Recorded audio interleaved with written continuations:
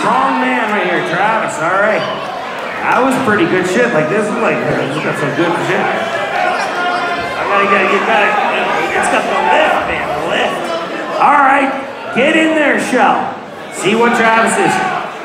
He's got a good love handle on him. Just one inch of his butt crack is showing.